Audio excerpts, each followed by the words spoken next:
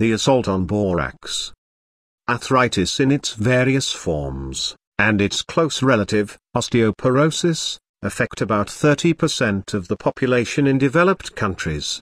Osteoporosis is responsible for more long-term hospital care than any other individual disease. This is due to the very high incidence of fractures, and especially the protracted nature of hip fractures.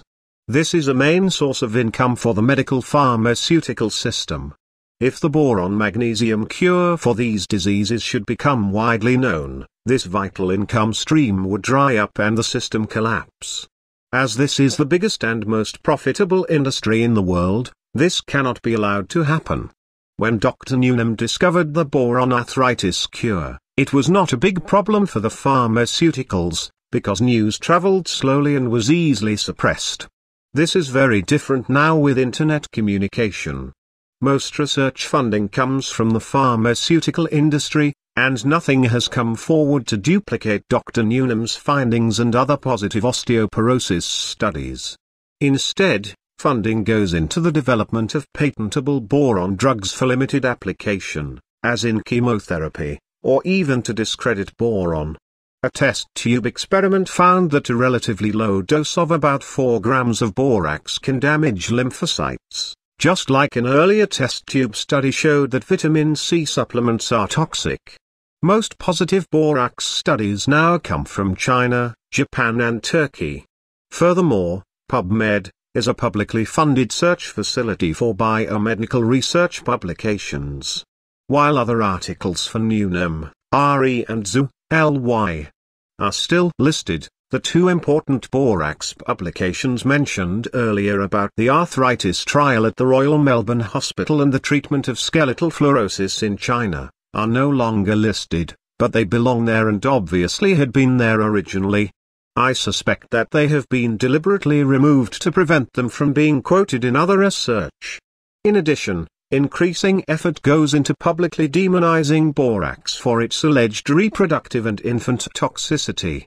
As an example, I recently read an article by a senior scientist of the supposedly Green Environmental Working Group. In it the perceived dangers of borax were so exaggerated, that most comments in effect said, quote, Thank you for opening my eyes. I did not know how poisonous and dangerous borax is, I certainly will not use it anymore in my laundry, or for cleaning my toilet and kitchen. Unquote. This is obviously a deliberate campaign to make people grateful for banning borax from public sale. For laundry and cleaning purposes, borax substitute now replaces the product previously sold as borax. The EU has spearheaded this campaign.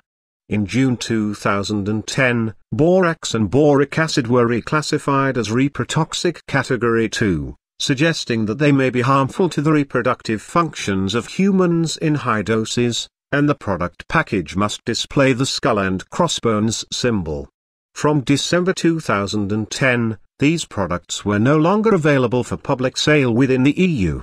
While this classification now applies for all of Europe, non-EU countries still have some leeway in regard to public sales. This initiative is part of a globally harmonized system of classification and labeling of chemicals, GHS, which is to be implemented as soon as possible.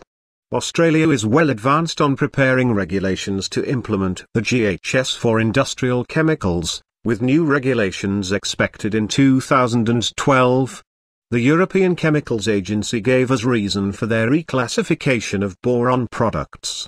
Paraphrased quote, the available data does not indicate major differences between laboratory animals and humans, therefore it must be assumed that the effects seen in animals could occur in humans as epidemiological studies in humans are insufficient to demonstrate the absence of an adverse effect of inorganic borates on fertility. 17.5 mg per kg of body weight each day was derived as a no-event level, for male and female fertility. For the rat, decreased fetal weight occurred at 13.7 mg per kg of body weight each day and a safe limit of 9.6 mg per kg each day has been derived. Unquote. What they are really saying is this. While we have no human data, Animal studies suggest that for adult reproductive functions, a daily ingestion of about 2 teaspoons of borax is safe.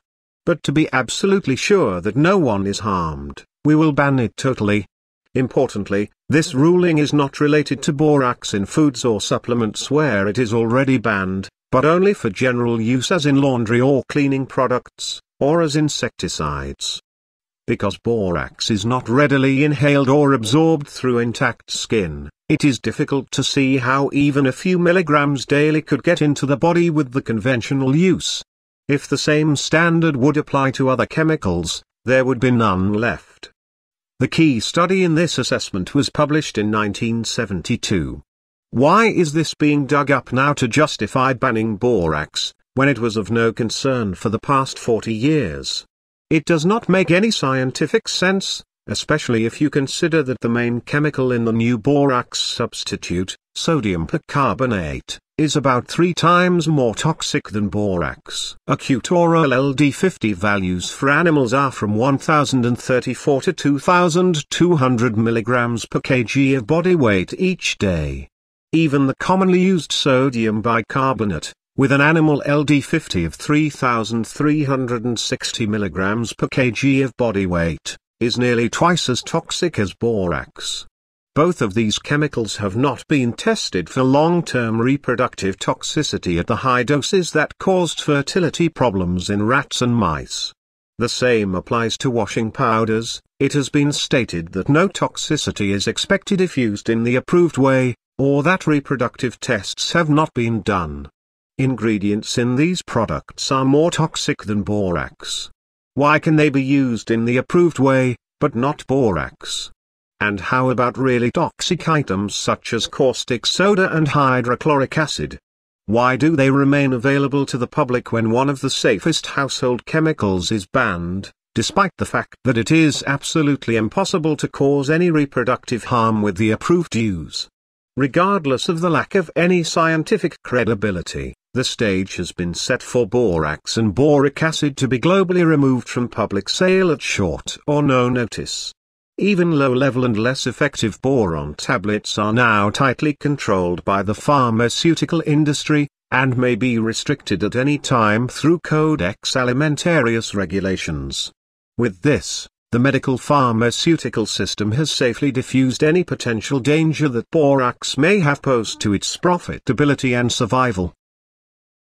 Note. This article is not about curing arthritis.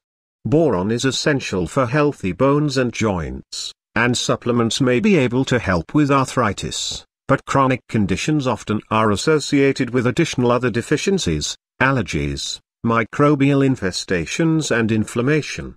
All of these factors may need to be addressed.